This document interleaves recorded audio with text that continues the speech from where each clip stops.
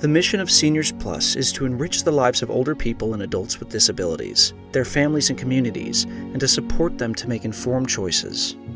As the designated area agency on aging for Western Maine, Seniors Plus provides statewide services with an emphasis on Androscoggin, Franklin, and Oxford counties for core support such as nutrition, wellness, information, and assistance. It is the duty of Seniors Plus to assess each client's needs and provide individualized services that will allow them the highest quality of living and independence they can achieve.